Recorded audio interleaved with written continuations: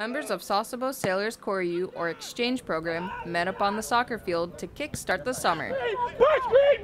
It was a lot of fun. Um, we had a great time coming here today, and uh, I'm thankful for the volunteers and the opportunity to represent the U.S. Navy. For this game, kicking a ball around affects more than just the score. It allows uh, the two navies just to come out and to have fun with each other and to uh, better correlate our relationship with one another. Um, so it's, it's, a, it's a great opportunity for us to do so and to get to know one another as well as we work together. To keep the alliance and security strong in the Pacific, the Sasebo Sailors Koryu program plans to continue events that strengthen local bonds. Petty Officer Christina Coffey, Fleet Activities, Sasebo, Japan.